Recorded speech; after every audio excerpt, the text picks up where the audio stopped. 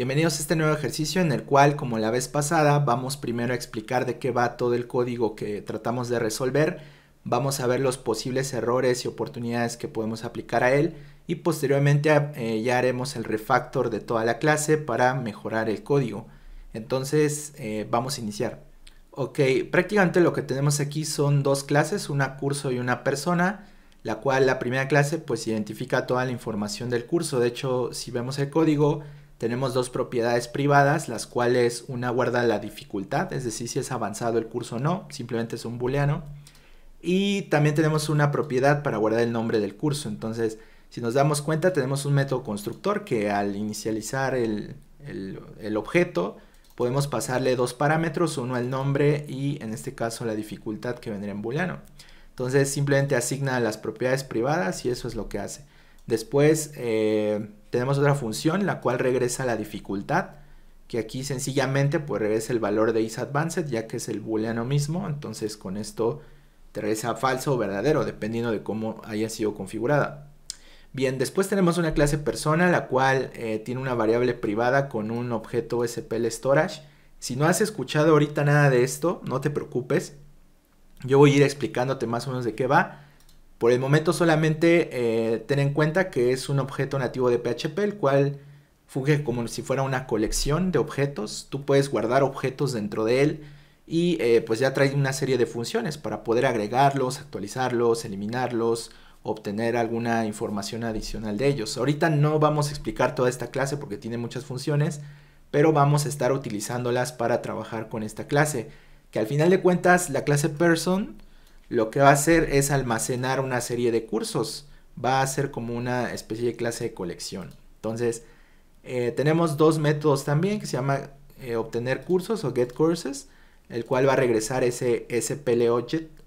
Y también vamos a tener una función setter que eh, aquí más fungiría como si fuera una función de inicialización. Es decir, cuando la primera vez que lo uses puedes meter ya un SPL object directamente ya con cursos cargados y eh, aquí ya nada más lo que hace pues es guardarlo en la variable privada que tenemos arriba. Y así de sencillo. Entonces vamos ahora al código del cliente. Bien entonces generamos una instancia de person y después una instancia del SPL object storage que como te lo comentaba ya no es necesario instalar algo adicional porque es nativa de PHP y utilizamos la función attach, la cual nos va a servir para meter en esa colección o en ese almacenamiento un nuevo objeto, que sería un nuevo objeto de tipo curso. Y aquí mismo también mandamos la inicialización de él con un texto que sería un curso de React de modo avanzado. Hacemos lo mismo para uno de CodeIgniter y finalmente metemos este SPL object dentro de la clase de, de person. Que de hecho aquí le dijimos que debe recibir un objeto de tipo SPL Object. Perfectamente cumple con la firma porque pues es el tipo de objeto que tenemos aquí arriba, ¿no? Entonces, eh, utilizamos un assert que quien para quien no haya visto esto, esta función, algo, es como si fuera un if, digamos, pero la diferencia es de que esto te puede desencadenar una excepción y ya tú usarla como te convenga. Entonces, eh, aquí a diferencia nada más, pues es que el if sí va a seguir el flujo del código y el assert, pues si, esto da false, lo que está dentro, entonces te vas a poder controlar una excepción. Entonces aquí lo que está pasando es que obtenemos todo el SPL object con getCourses y utilizamos uno de sus métodos del SPL que es count, el cual te va a regresar pues la cantidad de objetos que ya se encuentran en el almacenamiento. Eh, después generamos una nueva instancia de course y la guardamos en una variable, la misma que, como digamos en este momento ya tenemos un SPL object dentro de la clase person, entonces ya podemos eh, utilizar getCourses para que lo regrese y usamos attach para, que, para meter el nuevo eh, objeto de curso, ¿no? Ahorita vamos a ver por qué esto no lo hicimos directamente. Abajo hacemos lo mismo y metemos un curso de Angular, que este sería, o sea, no sería avanzado porque le pasamos false y hacemos de nuevo un assert, que en este momento ya tendremos que tener cuatro cursos, entonces esto debería de seguir funcionando normal. Em, después hacemos un detach, que esto sería lo contrario a attach, pasas una referencia de un objeto y quita de ese almacenamiento pues el objeto que, tratas, ¿no? En este caso lo que está pasando aquí es simplemente eh, que ya vamos a tener tres cursos. El de View, ese ya no lo vamos a tener, ¿ok? Entonces tenemos tres cursos, hacemos el assert igual y esto pues debería de seguir funcionando normal.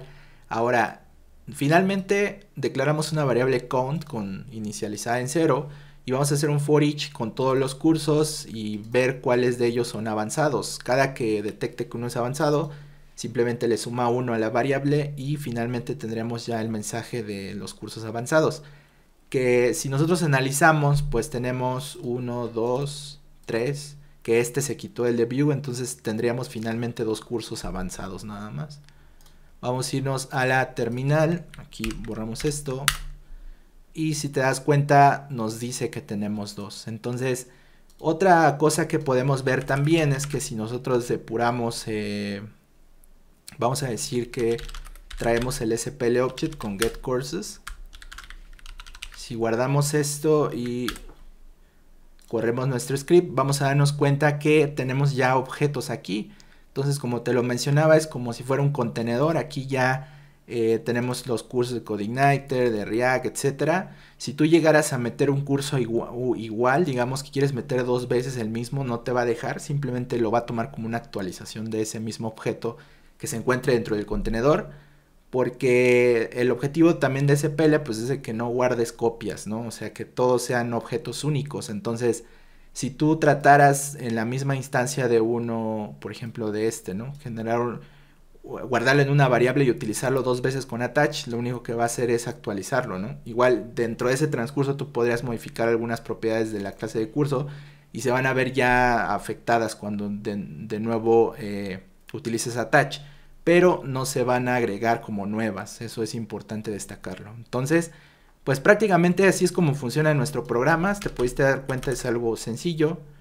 Eh, y bueno, vamos a ver en qué podemos mejorarlo. Ok, analizando el código, pues tenemos aquí varios problemas. Uno de ellos es que muchas funciones que digamos que son propias ya de, de lo que debería de ser la clase person, pues están haciendo en el cliente pero usando en ese caso el SPL Object. Entonces, si te das cuenta, por ejemplo, aquí instancia el SPL Object y desde afuera ya estás haciendo los attach y demás. Entonces, nosotros la clase person, pues obviamente queremos que funcione con el SPL Object internamente, pero nosotros tenemos que tener funciones que nos permitan pues hacer todas, toda esta interacción y que el cliente no tenga que enterarse pues el por qué, eh, digamos el cómo meter un nuevo objeto, etcétera. Entonces, desde aquí ya estamos partiendo con que no, esto no lo debería de ser el cliente, simplemente debería de, meter instancias de, tipo curso, hacer la inyección de eso, entonces aquí es algo que podemos corregir.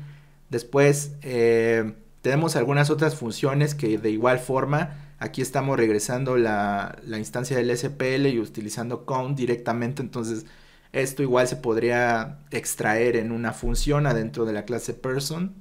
Eh, otra de las cosas es hacer lo mismo para detach, que también eh, sería, digamos, una función para eliminar un elemento.